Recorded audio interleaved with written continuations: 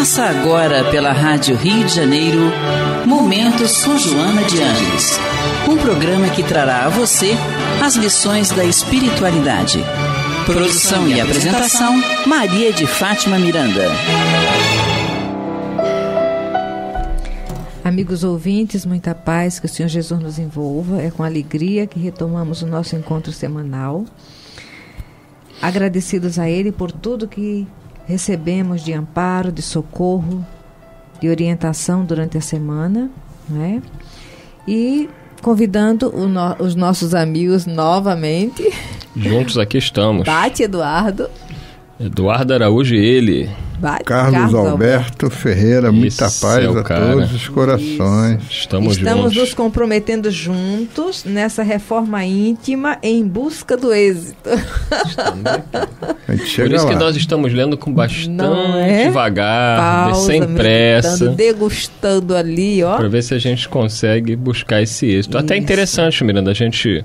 Algumas pessoas relatam que é difícil estudar a obra de Joana de Ângeles e nós estamos indo aqui bem devagar para mostrar o valor né, do trabalho desse espírito, desse espírito tão dedicado a Jesus, né, tão dedicado ao estudo da, da psicologia humana e que nos traz aí grandes ensinamentos na sua série psicológica. Na área aí. de humanas ela é versada em tudo, so, é. assistente social, né? sociologia, gente, quando você vai ler Joana, é um tratado de sociologia. E é um espírito que procura é, seguir o seu trabalho fiel àquilo que Allan Kardec nos trouxe na codificação, pegando temas específicos, nesse caso a questão da área psicolo da psicologia do ser humano. É verdade.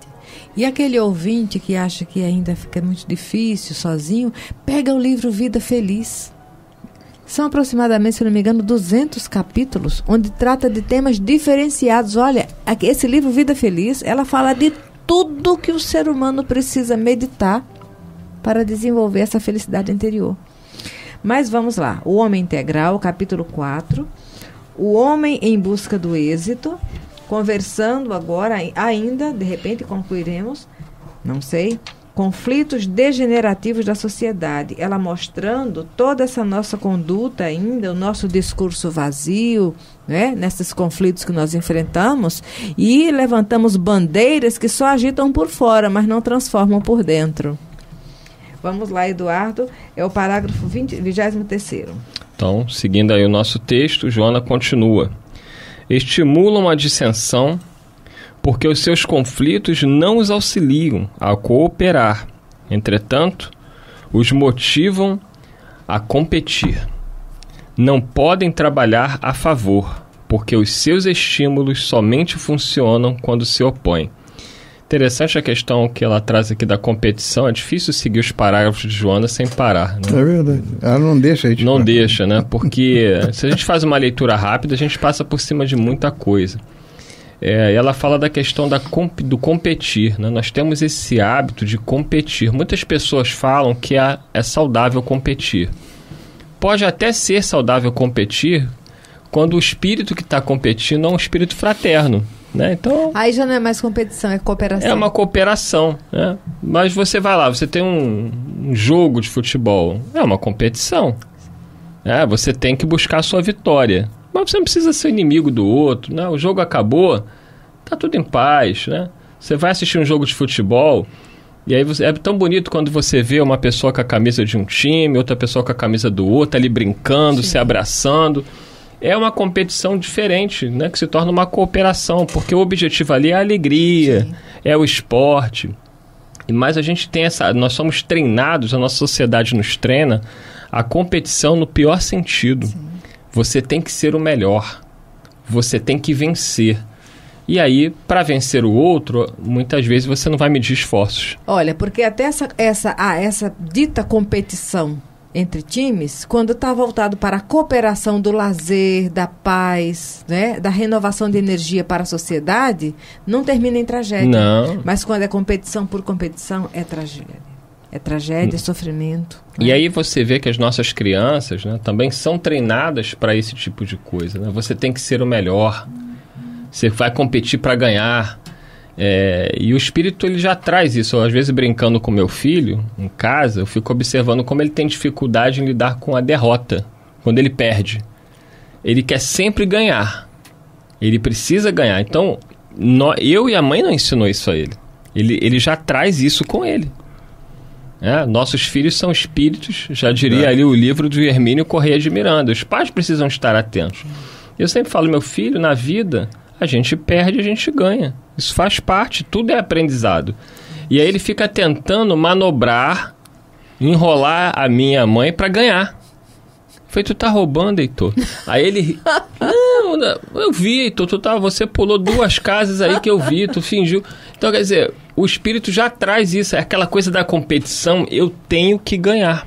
E os pais precisam estar atentos, Carlos Alberto, com, com essa questão dos filhos aí. Mas, infelizmente, às vezes a própria escola, estimula. sem querer, estimula. É, é, os, os adultos estimulam. E aí a criança que já traz a tendência, é, se torna aquele adulto competidor, que vai para dentro de uma empresa, que vai para dentro da casa espírita competir com outro. Quando, na verdade, a Miranda falou a palavra-chave. O certo seria cooperação. Cooperação. E você chegue perto do microfone, é. Carlos Alberto Ferreira. Você é igual Maria de Fátima Miranda. Não, tá bom. Vamos lá. Ele fala por telepatia, né? Deixa, deixa eu lembrar aqui de uma coisa. É, até com relação à educação. Meu, né, é a minha educação, aprendizado meu agora. Eu falo para meus filhos: você não tem que ser o melhor. Você tem que dar o seu melhor. Isso é diferente, tá? Doutor Bezerra de Menezes, ele nos diz que não sejamos os melhores, mas que dê, possamos dar o melhor de nós. Isso é que é importante. Dentro das tuas possibilidades, você dar o seu melhor naquilo que você está empreendendo fazer entendeu? Ou com relação a tudo. Com, com relação à competição, me lembro, foi postado algum um tempo aí, há, há pouco tempo, uma, uma maratona e que o keniano vinha na frente, vinha, daí ganhar, ganhar, ganhar a maratona. Né? E vinha um outro, não me lembro qual o país do outro, e, vinha em segundo lugar. E o keniano tomou o caminho errado da chegada e o que vinha em segundo lugar é, avisou a ele para que ele tomasse o caminho certo. Meu Deus. E ele veio. Bom, ele podia ter ganho a corrida, o que estava em segundo lugar, já que o outro entrou no caminho errado e ia ser desclassificado. Né? Mas ele retorna o keniano para o caminho certo. E o keniano ganha a corrida, né? E ele fica em segundo lugar. E perguntaram a ele ele não teve vontade de ganhar a corrida, por que, que ele fez aquilo? Né? Ele falou, não, minha mãe estava assistindo a corrida. Então, o que, que eu ia dizer para minha mãe depois? A honestidade. É, isso é honrar pai e mãe. Entendeu? Então, não, eu não foi isso que ela me ensinou. Ela ia me cobrar. Entendeu? Se eu não fizesse o certo. Olha só. Né? Então, eu, ele foi honesto com o outro. Ele não se sentiria bem vencendo uma corrida porque o outro foi desatento. É, o outro não foi incapacitado, não foi incapacitado, foi desatento. Foi desatento. É. Então ele trouxe o outro para o caminho certo e coisa e tal. Ele se sentiu melhor assim. Ele foi o verdadeiro vencedor. Ele que ele venceu ele mesmo. É. Entendeu? Aí que, é que eu falo, às vezes eu, eu falo, eu falo mesmo meus filhos, filho, às vezes a gente tá, é, tá você está competindo em alguma coisa, você vai fazer um concurso, você vai fazer uma prova para um trabalho, você vai fazer você é ali, você vai dar sempre o seu melhor, o melhor que você pode dar, em benefício daquele trabalho, em benefício daquele daquela competição, em benefício daquilo. Mas ser o melhor é apenas uma consequência, né? E muitas vezes o melhor é aquele que é o menos egoísta, o melhor é aquele que é o menos orgulhoso, menos invejoso, entendeu? O melhor é aquele que consegue vencer a si mesmo. É, porque o melhor por fora vai ser sempre transitório. Sempre aparecerá alguém mais capacitado. Então, aquele que apresenta o melhor de si, este é o verdadeiro melhor, né? Porque ele está sendo melhor do que ele mesmo foi ontem. Eu mostro, eu gosto de, de conversar com, o Gabriel e às vezes eu falo assim, filho, a, a gente tem que aprender com as derrotas também. A gente não vai vencer todas. Vai chegar momento que nós vamos perder. E a gente tem que aprender a saber e respeitar quando nós aprendemos, porque ali tem um aprendizado. Em cada derrota tem um aprendizado. E a vida vai te ensinar isso. Tá? Porque a vida nos ensina esse trabalho. Então, procurar sempre dar o seu melhor em tudo que a gente faz. É, é, a dedicação com amor, né? É aquela abnegação quando você renuncia a muitas coisas em benefício de um trabalho, no bem, de benefício de, do outro. Entendeu? Então tudo isso é você dar o que você tem de melhor dentro daquilo que você está se dedicando a fazer. É isso aí. Vamos continuar mais um parágrafo. Dois, eu acho que dá Continua pra... aqui a Joana dizendo o seguinte: em razão da insegurança pessoal, desconfiam dos sentimentos alheios e provocam distúrbios que se originam em suspeitas injustificáveis, a soldo do prazer mórbido que os assinala. O conflito íntimo é matriz cancerígena no organismo humano em constante ameaça ao grupo social. Cabe ao homem em conflito revestir-se de coragem, resolvendo-se pelo trabalho de identificação das possibilidades que dispõe, ora soterradas nos porões da personalidade assustada, sentindo-se incapaz de enfrentar-se à busca de alguém capacitado e apontar-lhe o rumo e ajudá-lo a percorrê-lo é tão urgente quão indispensável. Inúmeras terapias estão ao seu alcance entre os técnicos da área especializada, assim como as da psicologia transpessoal, apresentando-lhe a intercorrência de fatores paranormais e da psicologia espírita, aclarando-o com as luzes defluentes dos fenômenos obsessivos, geradores dos problemas degenerativos no indivíduo e na sociedade. E aí, Miranda? Pois é. Então, aqui ela já está falando de coisas que são inerentes a cada um de nós, não é? Olha, em razão da insegurança pessoal, qual de nós ainda não traz insegurança pessoal? Porque de nós mesmos só temos o livre-arbítrio a nos oferecer. Quando bem utilizado, vai chegar num porto seguro. Quando utilizado de forma leviana, continuamos de, com uma situação bem caótica. Então, em razão dessa insegurança pessoal, desconfiam dos sentimentos alheios. Por que, que nós desconfiamos dos sentimentos alheios? Porque nunca fomos verdadeiramente honestos com os outros lá atrás. Nós somos herdeiros de nós mesmos. Então, se ontem armávamos arapuca, é natural que hoje tenhamos essa agilidade de raciocinar que o outro pode estar agindo conosco. Então, tudo isso é um caldo próprio de cada ser humano que está agora na Terra. Mas precisamos pegar esse caldo, fazer uma coagem dele, né? E esse bagaço mórbido, deixá-lo para adubo, sabe? De experiências que precisam ser trabalhadas a nível de vigilância e filtrarmos o melhor. Olha, hoje em dia às vezes acontecem situações que fica tão evidente que o outro não está agindo de uma forma ideal.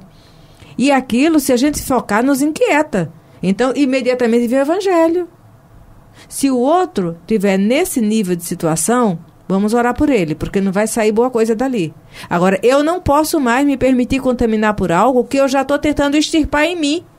Porque essa deformação moral que o outro carrega, eu também carrego. E se eu focar na do outro, eu não vou vencer a minha. É isso que Paulo nos convida ao bom combate. Quando Paulo identificou a situação de Tiago e ele viu que aquela atitude de Tiago lembrava o farisaísmo judaico, ele disse não aquilo, mas ficou vigilante para não embarcar num conflito que ia denegrir mais ainda a instituição do caminho.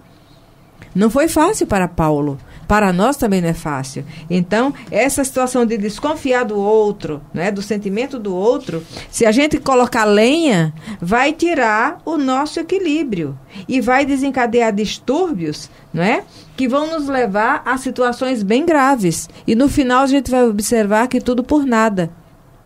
Observemos hoje os momentos de litígio que tivemos ontem com determinados companheiros. Onde nos levou?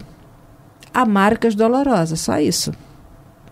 Fica o ouro da experiência. Não para continuar nos tatuando de dor, mas para evitar dor em nós e no outro. Se o outro já está fazendo essa reflexão, ele também está se libertando. Se ele não está, busquemos nós nos libertar, porque não teremos paz enquanto não auxiliarmos o outro. É nisso que nós vamos observar que os nossos benfeitores hoje são as nossas vítimas de ontem, que não se permitiram marcar pelo mal que lhes impusemos e transcenderam, e hoje, fortalecidos, vêm nos alavancar nessa fé que em nós ainda é vacilante, mas ela vai se fortificar.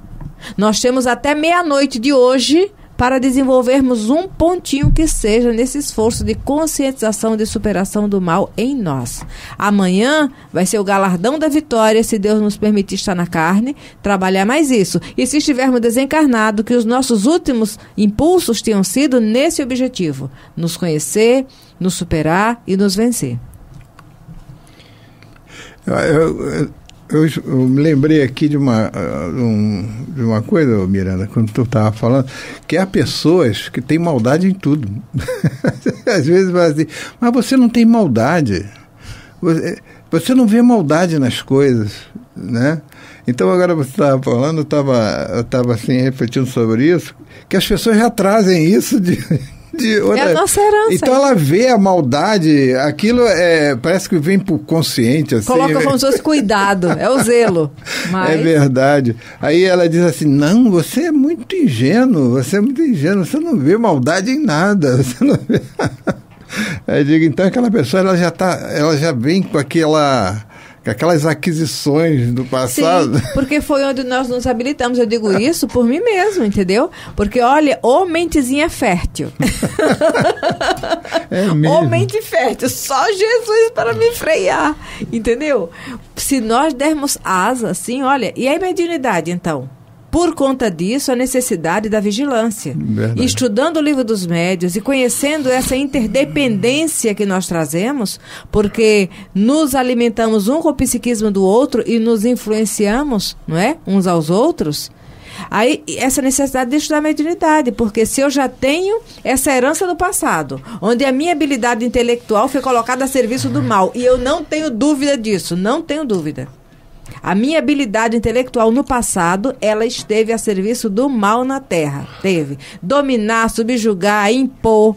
Entendeu? Onde eu passei. Por eu isso que a gente assim, não tem o direito agora de julgar ninguém. Não né? temos, não temos. Eu digo, olha, eu abusei no islamismo, no judaísmo, no cristianismo e agora tenho que buscar, sabe, me doutrinar. Amo animais, mas eu não deixei de amar pessoas. Então, quando nós vemos coisas muito dolorosas acontecendo com os animais, aí eu falo para alguns companheiros, vamos devagar, vamos orar. Vamos socorrer o bichinho e vamos orar pelo malfeitor do bichinho. Porque nós somos os malfeitores, os malfeitores de ontem. Entendeu? Miranda, quer dizer que eu fiz isso. Ah, nós fizemos isso e pior. Nós fizemos muito mais. Não quero nem saber como é que a gente fez. Já fiquemos felizes porque já não nos comprazemos e hoje temos recursos de minimizar o impacto do mal que os outros estão fazendo. Mas quando socorremos bichinho, é porque somos melhores do que eles, não. É porque estamos corrigindo em nós o que ensinamos eles a fazer de errado ontem. Porque tem muita mente atroz do mal que ainda pode ter sido nosso discípulo de maldade ontem.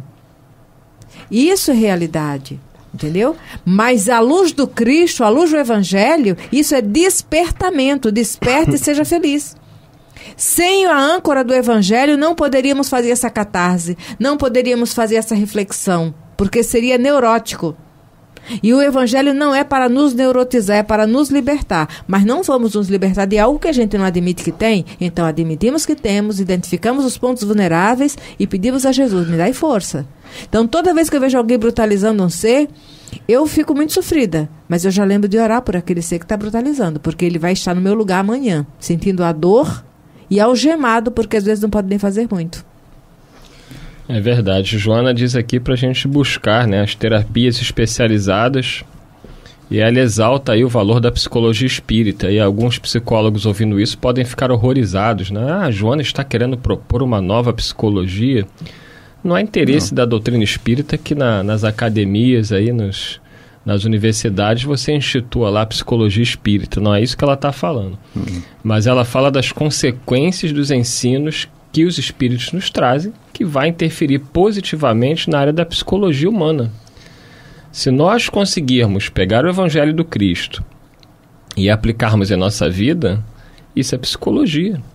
Nós estaremos trabalhando o nosso psiquismo ao encontro da paz, ao encontro da, do bem-estar, da é. saúde, né? não só da saúde física, mas da saúde mental e espiritual.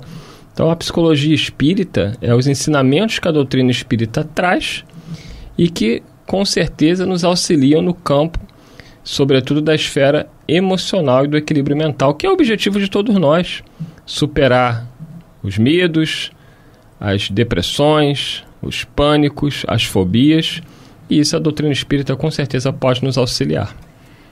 E aí, Carlos, dois minutinhos. Eu te digo, e o que será, o que seria de nós sem o Evangelho do Cristo? Né? Eu acho que não só na psicologia, mas acho que em todos os setores da vida de profissionais, eu acho que esses conceitos do Evangelho, os conceitos do Espírito, são importantes em todos os setores.